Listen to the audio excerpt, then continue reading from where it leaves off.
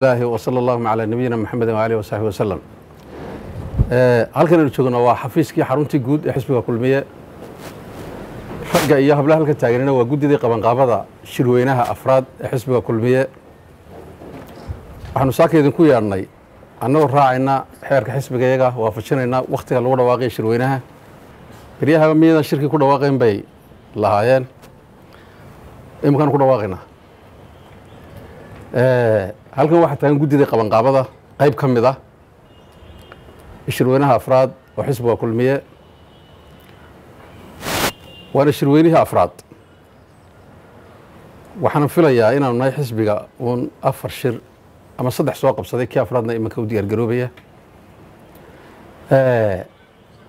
Waana de wax sharci ah oo ama sharci qaran ha noqoto oo xeerfudhiin uu amrayo ama kaayaga xisbigaba ha noqoto xeroosaadka xisbiga ha noqoto ayaa waxay inagu waajibinayaan in shirarka xisbiyada la qabto shantii sannadoodba hal mar.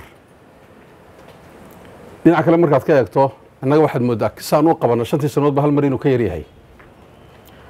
Waayo marka xisbigu yahay siddeed iyo toban jir ee afar shir uu yahay waa afar sannadood iyo barhba shir baanu qabannay marka waanu buuxinay annagu runtii shuruucdii ka xisbiga ha noqoto ka guud ee xisbiyada qaranka wada dhexeeya ha noqoto.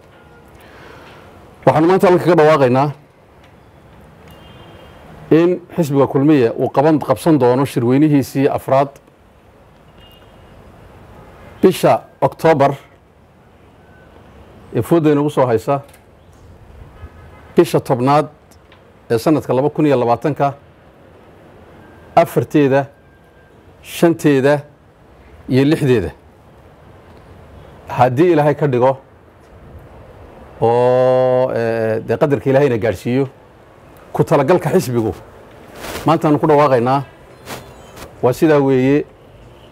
Marka waxaan u diraynaa oo ugu baaqaynaa xubnihii xisbiga qolihii dhexe xisbiga ergooyinka shirweynaha iman doona inay isu diyaariyaan u diyaar garoobaan ka qayb qaadashada shirkaa waxaanu ka dhici doonaa caasimadda jamhuuriyadda somalilan ee hargeysa. Ayuu ka dhici doonaa haddii ilaahay ka dhigo. Ku talagalkayga waa saddexdaa maalmood inuu socdo.